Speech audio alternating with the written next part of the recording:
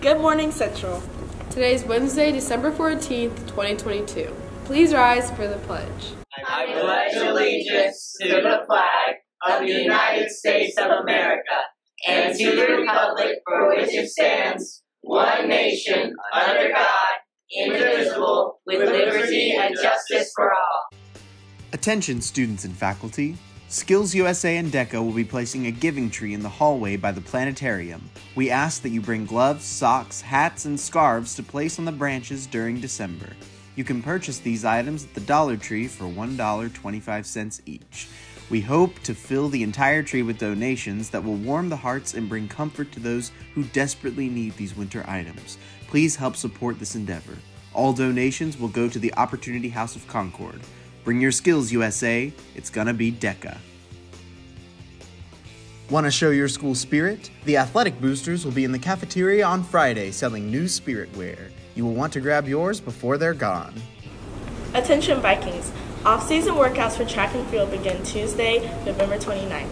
Workouts will take place every Tuesday and Thursday from 2.30 to 3.30. Athletes should meet in the North Cove and have clothing for outdoor workouts. Athletes must have a completed physical and have registered for the CCHS athletic participation through the Dragonfly system. All information can be found on Mr. Lourdes' school webpage or the CCHS track and field webpage. Are you looking for a fourth period club to join? Are you interested in God and studying the Word? Well, look no further.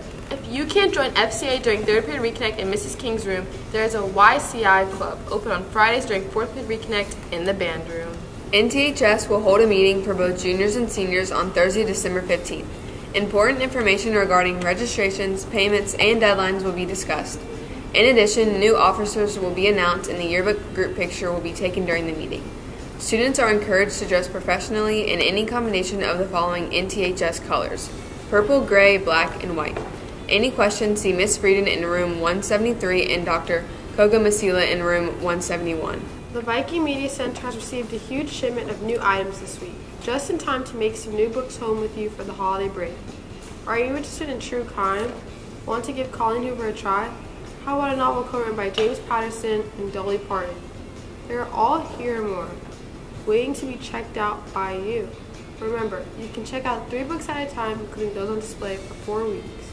Are you interested in the CCHS Hunter Safety Team? Join us for an interest meeting on Tuesday, December 20th during Second Reconnect in Miss Hill's room 168. If you're unable to attend the interest meeting, please email or drop by Ms. Hill's room. FFA is hosting Flashlight Tag this Friday, December 16th at 5.30 p.m. This event is open to all students. Meet in the courtyard in room 166. Bring a flashlight, wear camo, and dress warmly. The lunch for today will be hamburger, and cheeseburger, chicken nuggets with roll, tater tots, fresh broccoli cup, frozen fruit, and fresh fruit. The weather for today is a high of 49.